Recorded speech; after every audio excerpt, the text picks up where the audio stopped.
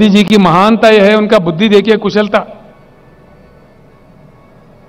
ये गए होस्टन में अमेरिका में। अमेरिका अध्यक्ष का लड़ाई लड़ने गए और कह दिया वहाँ पे अब की बार ट्रंप सरकार। अब की बार ट्रंप सरकार। ये हमारे देश के महान प्रधानमंत्री जो गला फाड़ फाड़ के बोलते हैं धूम धूम मचा देते हैं छोटी छोटी बात पे। क्यों चल रहा है? आपने श्रीलंका जाके प्रधानमंत्री का रोल नहीं निभाया, बल्कि एक छोटा सा व्यापारी का सेल्समैन बन गए थे आप। देश का अपमान किए। नतीजा, श्रीलंका का जनता टूट पड़ी है श्रीलंका के रोडों पे। यह शोभा देता है हमारे देश को।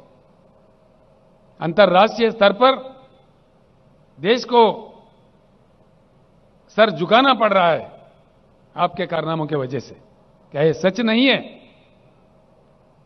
आपके मंत्री लोग, आपके प्रवक्ता लोग, आप खुद भी गला फाड़ फाड़ के बड़े ऊँचे आवाज़ में बोलते हो, क्यों चुप्पी साधे हुए है श्रीलंका के मामले में?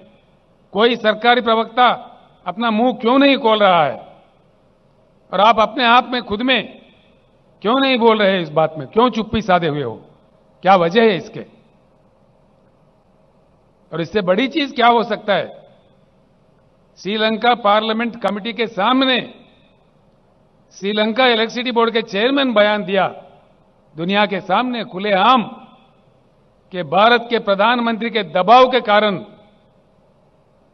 हमने यह कॉन्ट्रैक्ट किसी हिंदुस्तानी व्यापारी को दिया।